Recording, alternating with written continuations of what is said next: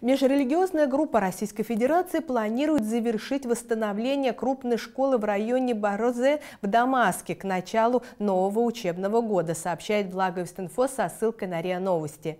Межрелигиозная рабочая группа по оказанию гуманитарной помощи населению Сирии Совета по взаимодействию с религиозными объединениями при президенте Российской Федерации, в которую входят христианские и мусульманские общины России, была создана в апреле 2017 года. На сегодня сегодняшний день данной группы уже осуществлен целый ряд акций по доставке крупной гуманитарной помощи в Сирию.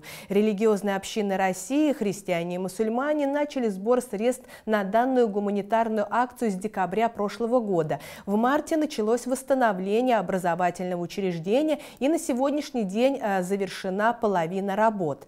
Глава межрелигиозной группы отметил, что есть намерение продолжать проект по восстановлению инфраструктуры по после окончания работ в школе.